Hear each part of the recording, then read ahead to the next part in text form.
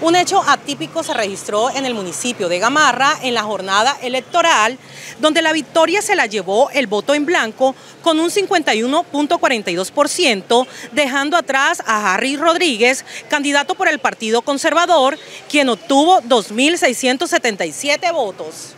Eh, habría que hacer elecciones sin los que están, porque el voto en blanco sería, eh, como lo prevé el espíritu de la ley y la ley misma, eh, un rechazo a las, candidaturas de los, de los que participan y pues eh, la necesidad de hacerlo con, con nuevos candidatos. El municipio de Gamarra en el departamento del Cesar fue noticia debido a que un día antes de las elecciones de este 29 de octubre, una funcionaria de la registraduría identificada como Duperli Arevalo Carrascal murió cuando le prendieron fuego a la sede de la entidad. Ahora Gamarra vuelve a estar en el mapa tras haberse realizado el conteo de todas las mesas y haber dado como resultado la victoria del voto en blanco. De esta manera, el voto en blanco ocupó la primera posición con un 51% de la votación, representada en 3.474 votos, seguido del candidato por el Partido Conservador Harry Rodríguez Díaz con 2.677 votos. Bueno, eh, la norma electoral es, eh, es concreta, es clara es prematuro, este es un proceso del preconteo, es un proceso informativo. Nosotros estamos dando resultados, pero no estamos declarando elección.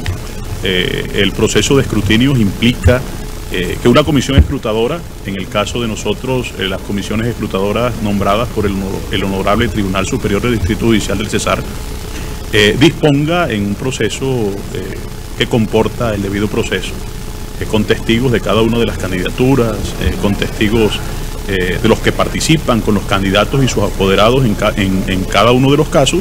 Y si el escrutinio arroja un porcentaje superior del 50% entre el voto en blanco y los votos eh, por candidatos, habrá que, eh, hacerse la elección con candidatos distintos. Sin embargo, como, como bien te digo, es prematuro declarar elección o definir si, si hay que repetir elecciones o no.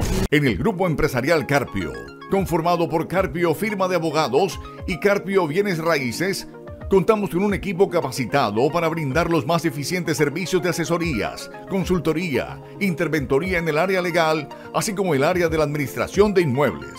Estamos ubicados en la calle 9A número 1557, en el barrio San Joaquín. Contáctanos al 316-666-1017.